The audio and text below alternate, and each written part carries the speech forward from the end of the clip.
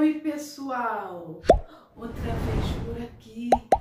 Toda última terça-feira do mês é dia, dia de história na janela. Vamos lá, pessoal? Vamos chamar, vamos chamar a criançada toda. Isso, para chegarem, chegarem aqui bem pertinho da janela. Venham, venham, crianças. Vocês, você, vem, vem. Dona Eugênia, vem. Traz, traz o seu banquinho, senta aqui. Dona Terezinha também, pode chegar. Hoje trouxe o tapete? Traz o tapete também, senta aqui. O senhor também pode chegar. Isso, venham. Pode, pode trazer a criança, venham. E essa criançada aí do outro lado? Atravessa, atravessa essa rua aí, atravessa, é pequenininha. Venham, venham para cá, sentem aqui. Isso, quanta gente! Que legal! Eu, eu sou a Lenisa, contadora de histórias. Atuo na Associação Amigos das Histórias, na Associação Viva e Deixe Viver e aqui no Brinque Ação. A história de hoje é uma história do nosso folclore. A onça, o coelho e o veado. Vamos lá? Vamos lá saber o que foi que aconteceu na nossa história.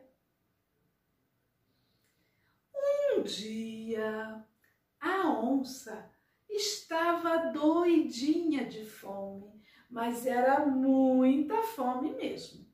Então, saiu para caçar. Procurou, procurou, andou pela mata e procurou. De repente, viu um coelho dormindo de barriga para cima, todo descuidado, embaixo de uma árvore. A onça pensou, está no papo. Pensou e preparou o bote. Já estava quase saltando sobre o coelho quando percebeu que perto dali pastava um veado grande e gordo. Então pensou de novo: ora, vou é pegar o veado, muito melhor, muito melhor que esse coelhinho magricela e deu, e deu um bote no veado. Mas a onça errou o bote. Na hora H, o veado deu um salto e correu. Ela, ela ainda saiu atrás dele, mas nada conseguiu.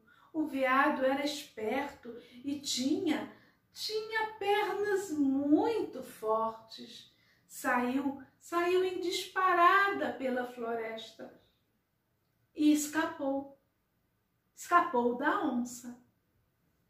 Coelho, ah, lembram? Lembram do coelho? Com toda, com toda aquela confusão, o coelho acordou. Acordou e escondeu-se a onça de língua de fora e com muito mais fome. Resolveu que o melhor mesmo era voltar e comer o coelho. Mas onde? Onde estava ele? Ela olhou de um lado, de outro e nada. Tinha sumido. Roxa de raiva, ela já estava indo embora quando, quando o coelho, vendo tudo, gritou: Bem feito, bem feito! Quem foi ao ar perdeu o lugar. Fazia careta e mostrava a língua e desaparecia entre as folhagens no meio da mata.